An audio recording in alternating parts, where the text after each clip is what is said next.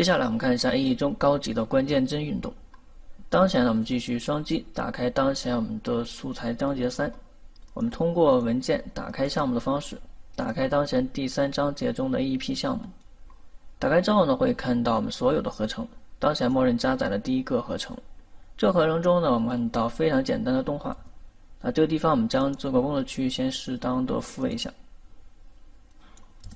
这动画呢非常的简单，我们看到当前的元素呢简单的运动。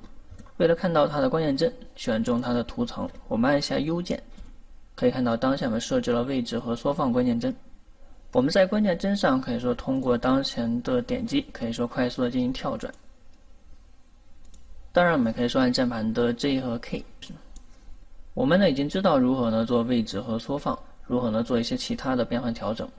那这个时候呢，在这个我们看到 JK 可以说快速在不同的关键帧之间进行跳转。下边可以说呢，把这个图关键帧上，我们来看一下它的这个速度是如何进行控制的。每个关键帧呢都有这个速度的控制，但是说我们在当前的这个数值上如何呢看到这个速度？那我们看到我们之前的速度呢，根据这个时间的长短，不同的时间它有不同的速度。每两个关键帧之间如果靠的比较的近，那它的速度肯定是非常快的。靠的比较的远，速度呢是非常慢的，所以我们看到前面这一段很快，中间这一段呢很慢。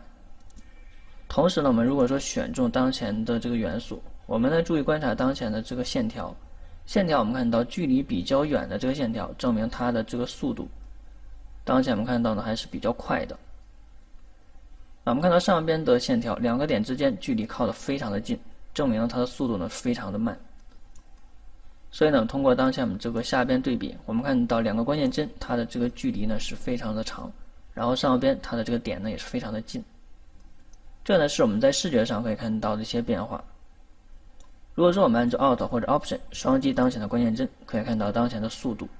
这个关键帧之前它是多快的速度，这个关键帧之后它的速度呢又是多快。下边呢还有这个影响，影响呢是对两个关键帧之间它的一个融合的设置。连续呢是两个关键帧相同速度情况下，我们看到呢它会变成相同速度。我们如何呢通过更直观的方式来看到当前速度的一个修改？我们可以说呢 Alt 双击或者 Option 双击直接呢修改它的这个速度。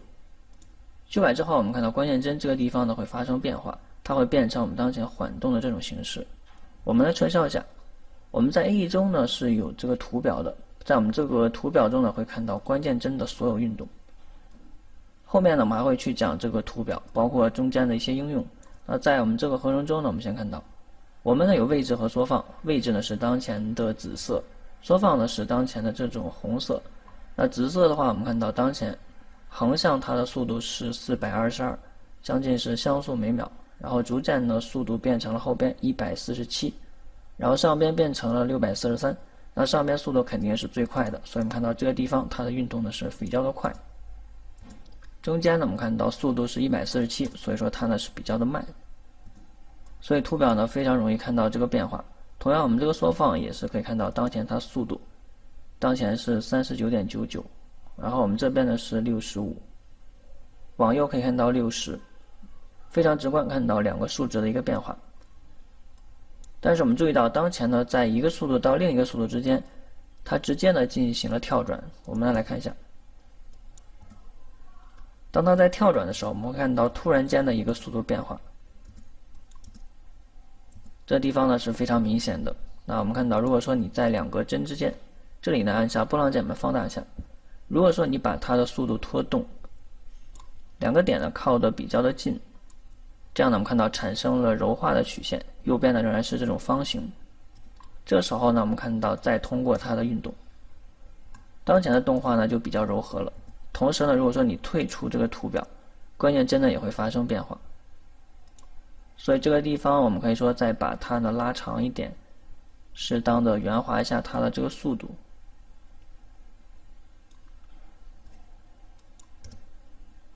可以看到，当前的融合之后，速度呢是非常平缓的，后边呢没有做融合，所以说突然间呢有一个非常大的落差。那我们再回到当前的关键帧，我们按住 Alt 或者 Option 继续呢双击，可以看到当前影响的一个设置，加上我们这个速度，当前前那如果我们勾选连续的话，当前前后的速度呢是完全一致的。然后我们在这个图表中，我们看到它的这个前后呢也是一致的。所以说呢，这个地方前后是非常柔和的。那么明白了当前这个设定之后，我们呢在下边可以说点击当前缩放的这个数值，我们直接呢可以说移动它的位置，也可以说这里撤销一下。我们在点击的时候按住 Alt 或者 Option。这个时候呢，拖动的时候，我们看到呢，就产生了这个圆滑的曲线。所以这个时候呢，在这个动画中，我们看到，同样呢，这个动画在进行缩放的时候，它呢也是非常的柔和。我们在这个地方可以看到非常缓动的一个动画过程。那么这个动画的设定呢，也是非常的容易。我们再回到关键帧，那在关键帧上，我们看到，我们在后边看到它的这个落差呢还是比较大的。如何在我们这个时间线上？通过关键帧呢，直接对它进行柔化处理。我们呢可以说按住 Ctrl 或者 Command，直接点击一下，当前的关键帧会变成圆点，代表呢它是一个自动贝塞尔。我们回到当前的图表就可以看到，这个地方已经变成了圆滑的转换。当然说这个转换呢，我们再按住 Alt 或者 Option 双击呢来看一下，它会自动呢切换为连续，将我们这个速度前后呢设为一致。同时我们看到这个影响的数值呢也是一致。所以说这时候我们看到。当我们设定了这个参数之后，这个动画我们看到它的这个变化呢还是非常柔和的，相比之前的这个速度落差呢得到了一个很好的改善。当然，在我们这个改善之后，我们这里呢再撤销下，重新的点击一下，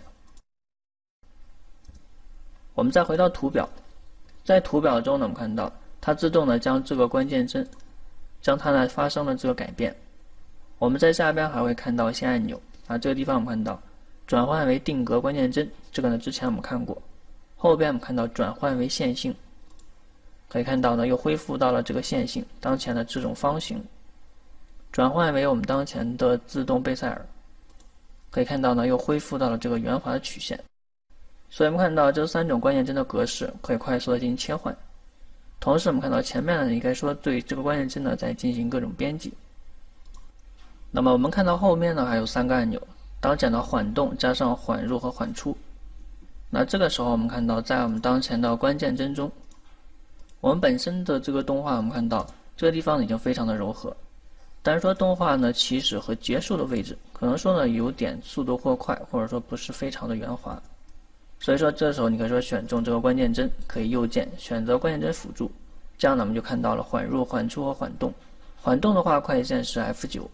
当你执行这个命令之后，我们看到这个关键帧产生了变化，同时在图表中我们看到它也变得非常的柔和。起始的时候它的速度呢就是从零开始，不会说从非常快呢进行跳转。所以呢，你添加当前这个命令之后，我们在播放的时候动画呢是由慢到快，非常的柔和。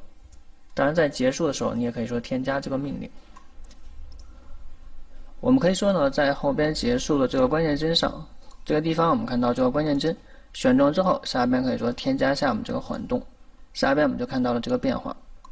但是说我们这个缓动呢，只能添加在起始和结束的位置，所以说起始的位置你添加了缓动之后，这个地方我们看到它会从零开始，那结束的时候它会呢从我们比较快的速度到我们当前比较慢，所以说呢有一个非常柔和的变化。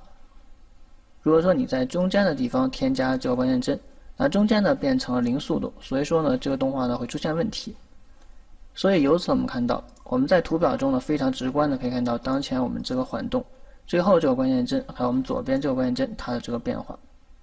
当我们最后缩放的这个关键帧通过当前的这个图表，我们呢也可以说呢添加一下缓动，同样呢它也会有一点点的变化，包括我们一开始当前的缩放。所以在图表中呢可以说非常直观的看到这些参数，包括它整体运动的一个变化。最终，我们呢可以说通过预览看到当前非常柔和的这个动画。